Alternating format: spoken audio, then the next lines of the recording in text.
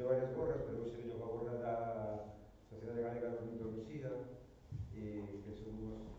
eh, tamén partícipes do, do fondo. Bueno, aí nos chegamos aí por desde Belén, que bueno, nos Madega temos máis colaboración, bueno, que como Madega temos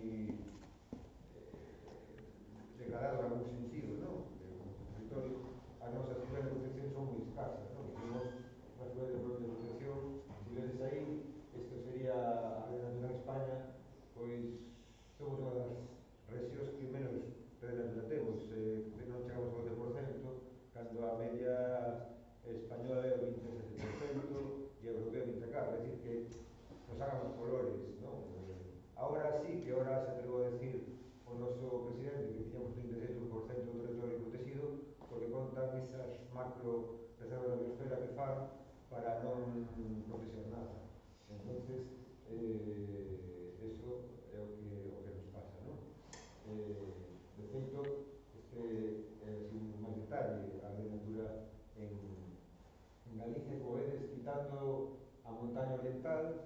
as calles Couré e a Comunidade de Ourense, Comisión Central e Intervinca, o resto pois son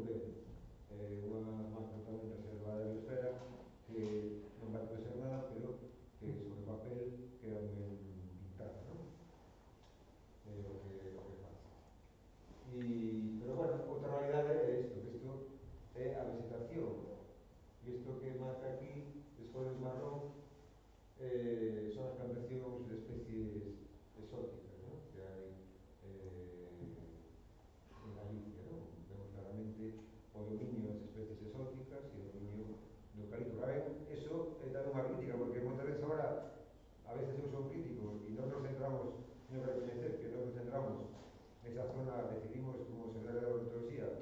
atender a zona da montaña oriental porque pensamos que non se quedan os maiores valores ambientais e eh, de, do territorio. Tamén é certo que a veces nos chama xente de territorios moi castigados con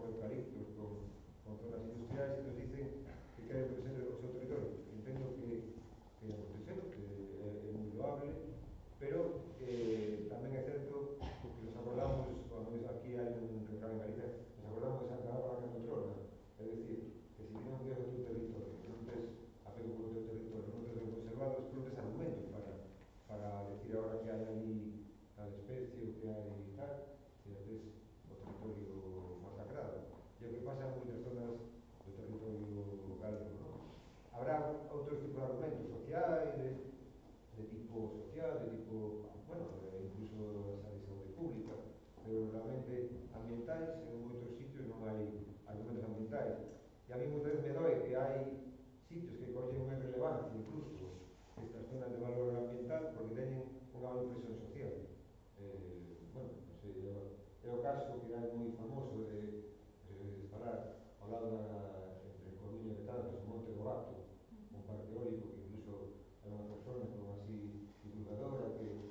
parado el parque, eh, que se debe ser declarado parque, como decimos, de parque natural eh, etnográfico. A ver, era unha zona, si non se creen, a ver, non creo que llamamos parque sobre en Galicia, pero xa que llamamos parque sobre en Galicia, porque en Madrid, que é unha zona que, que é unha capital eh, degradado, unha zona que non ten un valor, porque vivas que ali, bueno, pois pues, hai que ser, a ver, que non queda o que poñamos de olho, pero tampouco general, eh, a non ser entendedes o meu argumento, non? Eu creo que realmente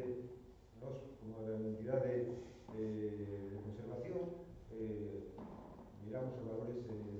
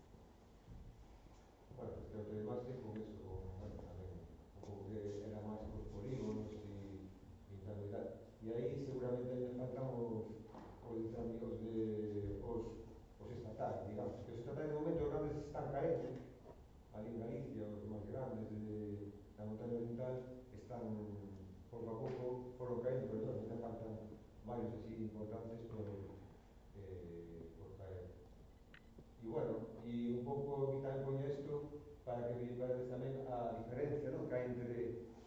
distintas comunidades autónomas. Bueno, non sei se, se está ahora moi actualizado, pero era de fai uns meses, eh, que falaba do número de, de, de, de posillos instalados. ¿no? Por exemplo, que eh, Galicia ten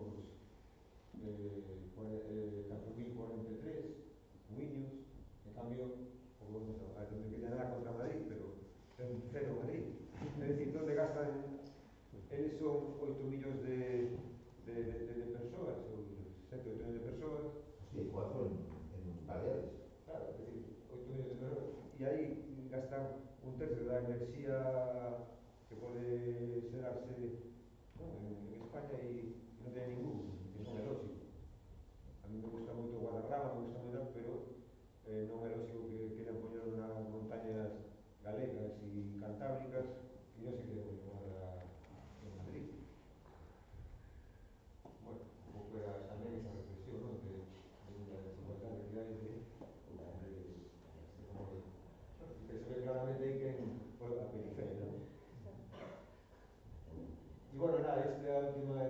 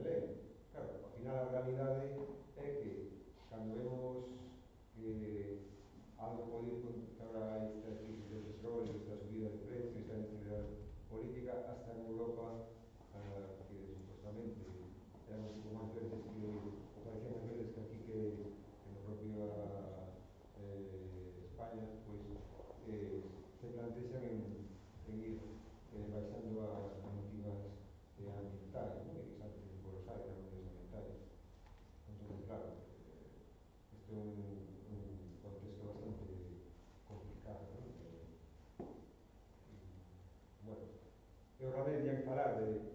da zona de Ancares, pero, bueno, de la zona de Alentar, pero o único que podo engadir é que de momento en Galicia a única zona que hai de exclusión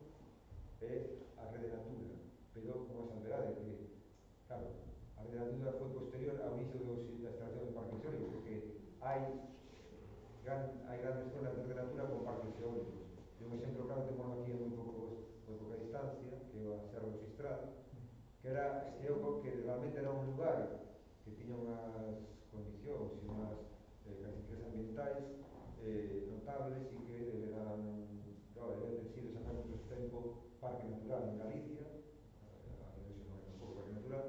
pero que está totalmente arrasado polos parques.